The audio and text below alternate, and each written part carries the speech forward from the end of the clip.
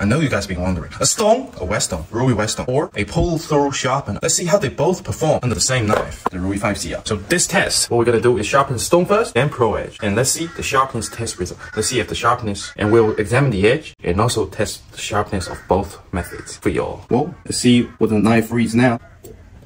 That's a dull knife. Yeah, don't even have to show the Bible. That's a dull knife. Stone first. Rui Whetstone. Check out link in bio.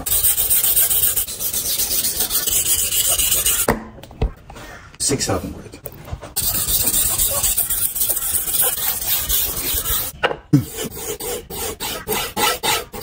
Sharpness test. 100. Oh, time to dull this motherfucker again. 715. You know what? No sharp. Pro edge. Sharpest 410.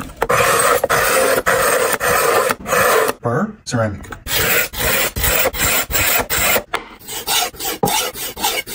Sharpness test. Shit.